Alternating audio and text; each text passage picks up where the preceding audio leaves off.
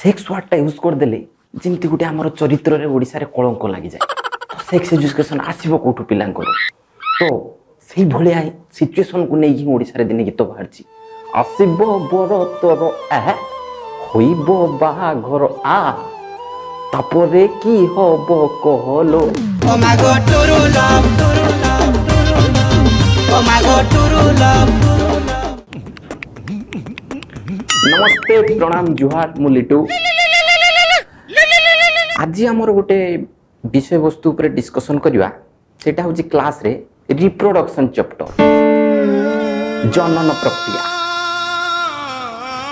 তো স্কুল লাইফটা মোর বহুত বোরিং লা বহুত বোরিং এক্সাম দিও হোস্টেল ডালি পানি ভাত খাও তাপরে কোণ সার্টিফিকেট ধরি বাহারি যাও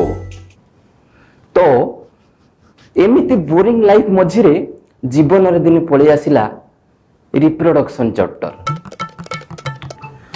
আমার যেমিতি দিনে স্বাধীনতা সংগ্রামী নেতাজী সুভাষ চন্দ্র বোস কহি যাইছিলে তুমি মতে রক্ত দিও মু তোমাকে স্বাধীনতা দেবি আমার মতে যা লাগিলা আম স্যার আম ইউজিসি কু কহিছন্তি তুমি মতে রিপ্রডকশন চ্যাপ্টর দিও মু তাকু ক্লাস রে ন পড়াইকি ছাড় দেবি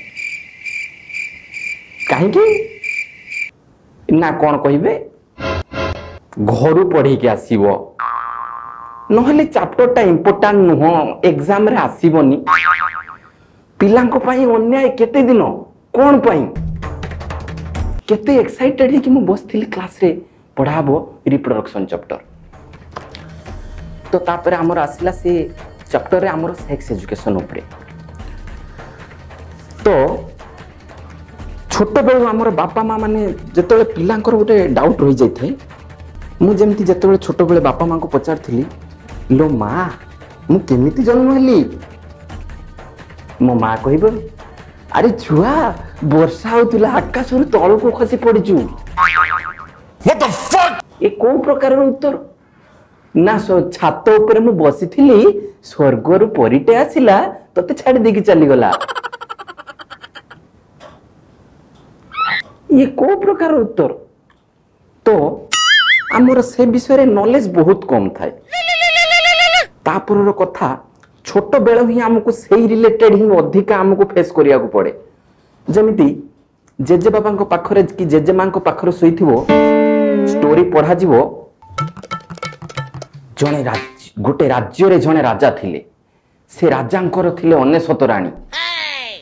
ମୁଁ ସେତେବେଳେ ସିନା ଶୁଣୁଥିଲି ଭଲରେ କିନ୍ତୁ ଏବେ ଭାବୁଛି